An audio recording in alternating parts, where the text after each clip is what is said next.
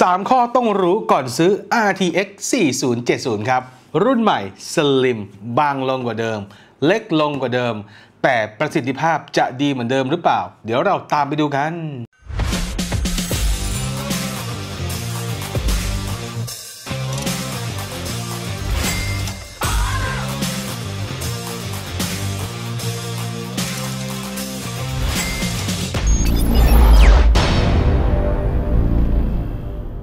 สวัสดีครับ อยู่กับ Edbic เจนนรงอินลุนนะครับ มากันแล้วครับ การ์ดจอ GeForce RTX 4070 รุ่นใหม่จาก MSI ครับ เป็นการ์ดจอในรุ่น slim หรือว่ากันตรงๆ ชื่อเต็มๆของเขาก็คือ GeForce RTX 4070 Gaming X Slim ตัวนี้เป็น White Edition ด้วยสำหรับเจ้าการ์ดจอตัวนี้นะครับ มาพร้อมกับขนาด มาพร้อมกับดีไซน์ที่ถูกหดที่ถูกย่อส่วนลงทำให้สามารถใส่ในเคสต่างๆ ที่รองรับได้มากขึ้นเคสเล็กสามารถใส่ได้ มีขนาดหลาย ๆ มิติที่สั้นลง แต่ในเรื่องของดีเทลนั้น จะเป็นอย่างไร จะมีประสิทธิภาพที่แตกต่างจากของเดิมหรือไม่ จะมีความเย็นที่ลดลงหรือเปล่า หรือแม้แต่เทคโนโลยีจะถูกตัดอะไรออกไปบ้างนั้น เดี๋ยวเราตามไปดูครับ หัวข้อที่ 1 RTX 4070 Gaming X Slim ไว้ Slim กว่าเดิม บางลงกว่าเดิม เดี๋ยวเรามาแกะกล่องดูกัน นี่คือโฉมหน้าของตัวกล่องครับ Gaming X Slim ในเวอร์ชันไว้เขาจะมีให้เลือกกันอยู่ 2 รุ่นนะครับ คือรุ่น Black ปกติ และรุ่นไว้ที่เสริมเพิ่มเติมความขาวมา ในปัจจุบันนี้ครับ แล้วก็ในอนาคตที่จะถึงนี้ ทาง MSI เองเขาจะออกไลน์อัพการผลิตออกมา ให้มีการดีไซน์ที่เป็นสีขาวเพิ่มเติมมามากขึ้น และไม่ใช่สีขาวดิบๆ อย่างเดียวนะครับ เป็นสีขาวเป็นสี white ผสมกับ silver อย่างนี้เลยนะครับ นี่คือโฉมหน้าค่าตาของตัวการ์ดก่อนจะแกะกล่องให้ดูกันนะครับโดยที่ตัวการ์ดตัวนี้นะครับจะถูก redesign ใหม่นะครับทำให้มีไซส์ที่เล็กลงในทุกมิตินะครับเดี๋ยวแกะกล่องก็น่าจะเห็นในเรื่องของรูปแบบของการ์ดที่เฮ้ยมันเล็กน่ารักมากเลยนะ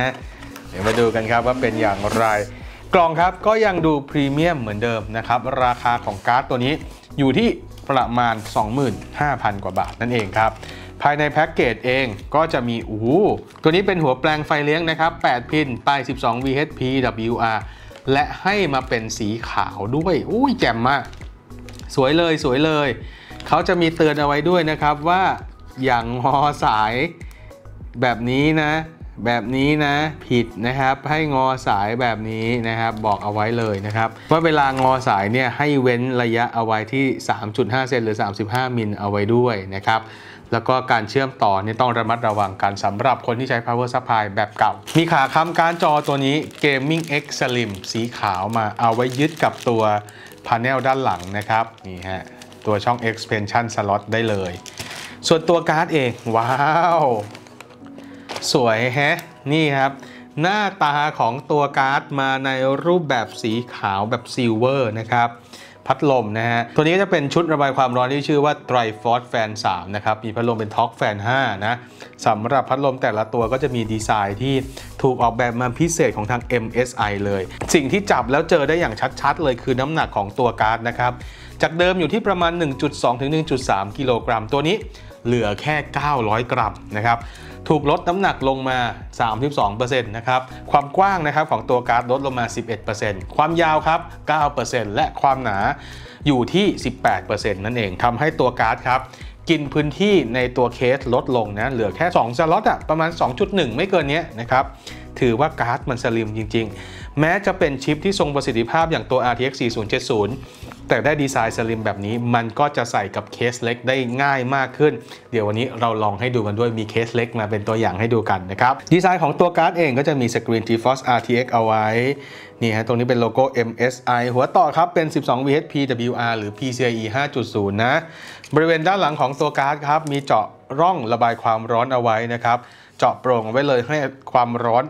ทะลุออกมาตรงนี้ได้เลยนะครับด้านนี้ก็เป็น Black Plate สวยงามนะ สีเป็น Silver นะครับ หัวเชื่อมต่อครับ PCIe 4.0 แบบนี้รองรับ Backward Compatible ได้ พอเชื่อมต่อก็มาครบนะครับ HDMI 1 DisplayPort 3 และจะสังเกตเห็นว่าตัวการ์ดมันบางจริง ๆ นะครับ ความสูงที่ตัวการ์ดมีก็ไม่ได้สูงมากนะครับ เพิ่มมาจากเดิมนิดนึงถือว่าแจ๋วดีนะครับ เป็นการที่ต้องบอกว่าทำให้ใส่ได้ง่าย แล้วก็รองรับกับเคสได้ง่ายมากขึ้น และสะดวกมากขึ้น ถ้าเป็นการ์ดจอก่อนหน้านี้อย่างพวกซีรีส์40 เนี่ย character ของเขาคือความหนาหนาเตอะ ต้องใส่เคสใหญ่ แล้วก็ต้องมีพวกขาค้ำมารวมถึงเคสที่ใส่เนี่ยต้องเป็นอย่างน้อยต้องเป็น ATX ตัว Full Tower ขึ้นไปหรือมีพื้นที่ clearance เยอะๆ เพราะบางตัวเนี่ยมันจะไปติดพวกชุดน้ำแบบนี้เป็นต้นที่ใส่หน้าเคสอะเนาะแต่ตัวนี้หมดปัญหาตรงนั้นได้อย่างแน่นอนครับ เรื่องของสเปคตัวการ์ดความยาวอะไรต่างๆเนี่ยผมจะขึ้นเอาไว้ตรงนี้เลย 2. ถึงแม้ RTX 4070 ตัวนี้จะ slim แต่เทคโนโลยีและสเปคยังเหมือนเดิม อะเราได้เห็นในเรื่องของดีไซน์ เราได้เห็นในเรื่องของการ unbox กันมาแล้วใช่ไหมครับสำหรับเจ้าการ์ดจอ RTX 4070 นะครับ แต่ต้องบอกว่าถึงแม้มันจะเล็กลงกว่าเดิม ถึงแม้มันจะ slim ถึงแม้มันจะมีน้ำหนักของตัวการ์ด ที่เบาลง แต่ในเรื่องของสเปคต่างๆ เขายังคงเอาไว้ซึ่งความจัดจ้านของ chipset RTX 4070 ไว้เต็มรูปแบบ ในเรื่องของสเปคเองไม่ว่าจะเป็น CUDA Core นะครับสำหรับตัวนี้ให้ CUDA มาที่ 5,888 unit เหมือนเดิมครับ มีในฝั่งของ Boost Clock อยู่ที่ 2,625 MHz นะฮะ อันนี้สามารถปรับได้ผ่าน MSI Center นะครับ ในส่วนของเทคโนโลยีนะครับที่เขาใส่มาให้ในตัวการ์ดก็ยังมีเหมือนเดิม ครบถ้วนทุกประการ ไม่ว่าจะเป็นเทคโนโลยีอย่างตัว DLSS Deep Learning Super Sampling เป็น DLSS 3นะครับสำหรับตัวนี้แน่นอนหลาย ๆ คนคงทราบกันดีว่าเป็นการ upscale โดยใช้ตัว Tensor Core ประมวลผลนะครับ ช่วยการทำงานของการ์ดจอนะครับทำให้ในเรื่องของกราฟิกคมชัด แต่มี frame rate ที่สูงขึ้นด้วยนะครับถัดมานะครับเทคโนโลยีอย่างตัว Ray Tracing แน่นอนครับ เทคโนโลยีอย่างตัว Ray Tracing หรือ Real Time Ray Tracing แน่นอนขึ้นต้นด้วย RTX มันก็ต้องมีเทคโนโลยีนี้อยู่นะครับ เป็นการประมวลผลแสงและเงาแบบสวยงามสมจริงแบบต่อเนื่องและแบบเรียลไทม์นะฮะ ยังทำได้ดีและเป็นเจเนอเรชันใหม่แล้วด้วยนะครับทำให้มี performance ด้านนี้ดีขึ้น แล้วก็ได้แสงและเงาที่สมจริงมากขึ้นนั่นเอง และรวมถึงเทคโนโลยีอีกหนึ่งอย่างอย่างตัว Frame Generation หรือ Frame Gen นั่นเองนะครับตัวนี้ก็ยังคงใช้ AI เช่นกันนะครับเป็นการ render องค์ประกอบต่าง ๆ เช่น อนุภาคการสะท้อนเงาแสงให้ frame rate สูงขึ้น โดยไม่ต้องรอชุดคำสั่งจาก CPU และสุดท้ายแต่ยังไม่ท้ายสุดนะครับก็คือเทคโนโลยีอย่างตัว Broadcast นะฮะที่การ์ดจอตัวนี้ก็ยังทำได้ผ่านตัว NVENC แล้วก็มีซอฟต์แวร์ตัว Broadcast ให้ช่วยสตรีมมิ่งได้เป็นอย่างดี และเทคโนโลยีอย่างตัว Reflex นะครับในกลุ่มของ e-sport เวลาเล่นเกมที่ต้องการใช้ latency ต่ำๆเกม shooting หรือแม้แต่ไปเล่นในทัวร์นาเมนต์นะครับ เกมจริงจังนะเล่นแบบต้องการผลการแข่งขันตัวนี้จะช่วยได้มาก เขาก็ยังมีอยู่ในทุกองค์ประกอบในฝั่งของเทคโนโลยีนะครับไม่ได้ถูกตัดตรงนี้ออกไปเลยนะครับ เดี๋ยวเรามีผลทดสอบในเรื่องของเกมให้ดูกันด้วยครับ ว่าภาพจะสวยแค่ไหนเดี๋ยวตามไปดูกัน เกมแรกมาดู Cyberpunk 2077 เวอร์ชันอัปเดตใหม่ครับใส่ตัวเทคโนโลยีมาอย่างเต็มเปี่ยมเลยสำหรับเกมนี้เนาะความละเอียดเป็น 2K ปรับ Ray Tracing เป็น Overdrive สูงสุดเลย เปิดตัว DLSS นะครับ เปิดเทคโนโลยีแบบเต็มที่ของ NVIDIA เลยนะครับ นี่คือการเล่นแบบ 2K เนาะ ในเรื่องของภาพต้องบอกว่าแสงเงาเนียนตามาก ๆ เงาตกกระทบนี่คือสุด ส่วนในเรื่องของเฟรมเรทนะครับ ก็ต้องบอกว่าอยู่ในระดับที่โอเคนะครับ อาจจะไม่ได้ลื่นพริ้วมาก แต่เราเน้นในเรื่องของกราฟิกนั่นเอง ก็จะทำให้ตัวเกมตัวนี้นะครับ ได้ภาพที่สวยมาก แล้วก็เป็นเกมที่เป็นเกมแบบ ออฟไลน์นะครับทำให้ไม่ได้เน้นในเรื่องของ frame rate ถัดมาก็จะเป็นตัว Diablo ครับ Diablo 4นะครับ Diablo นี่โอ้โหรองรับเทคโนโลยีครบครันครับ DLSS Frame Gen นะครับ มีในเรื่องของ Ray Tracing ด้วย ก็จะเห็นว่าสวยมากกับความละเอียดในระดับ 2K นะครับ เล่นกันนานได้แบบพริ้วๆเลย นี่ฮะ ให้ดูกราฟิกในเกมเนาะ ต้องบอกว่าโหดอยู่ฮะ แสงเงาต่างๆ ยอดเยี่ยมเลยแล้วที่สำคัญที่สุดนะครับ ในตอนนี้เองโปรโมชั่นนะครับของทาง NVIDIA เขาก็มีแถมแผ่นรองเมาส์ Diablo ด้วยนะครับเป็นตัว Limited Edition แบบ Exclusive เลยนะ ใครที่ซื้อการ์ดจอตอนนี้ก็จะได้แผ่นรองเมาส์ตัวนี้ไปเลยสำหรับเจ้า 4070 และ 4060 Ti ครับ ถัดมาก็จะเป็น Call of Duty นะครับ เกมยอดนิยมนะตอนนี้เลยนะครับ ปรับกราฟิกให้ดูกันก็ต้องบอกว่า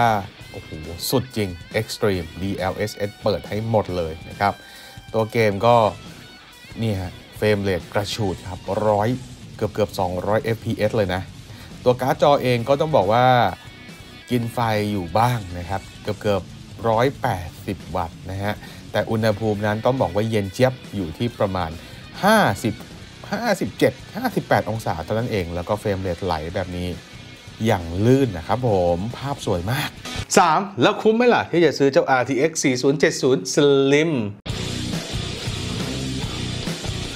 ได้เห็นทั้งความแรงในการเล่นเกมได้เห็นทั้งหน้าตาของตัวการ์ดแล้วแน่นอนมันบางลงกว่าเดิม แต่มันก็ยัง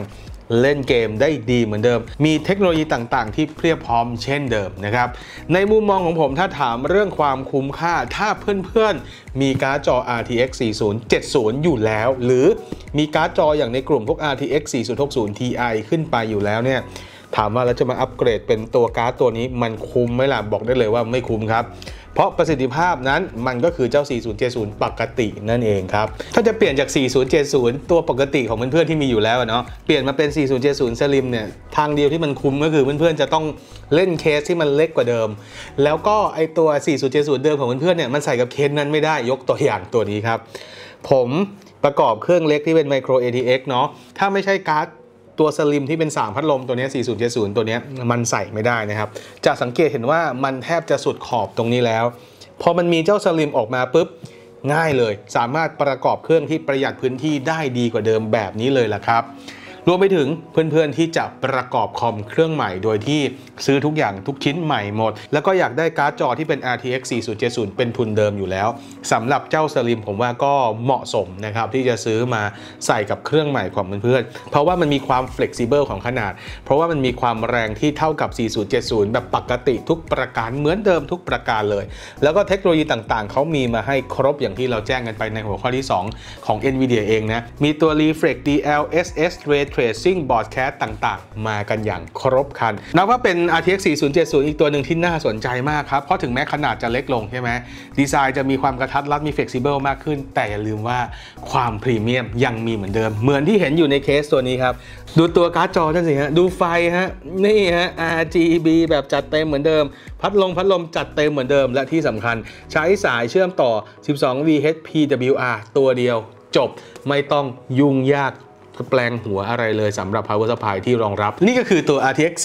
4070 Gaming X Slim White นะครับ ตัวล่าสุดของ MSI RTX 4070 ที่น่าจัดมาก ๆ วันนี้ขอตัวครับ สวัสดีครับ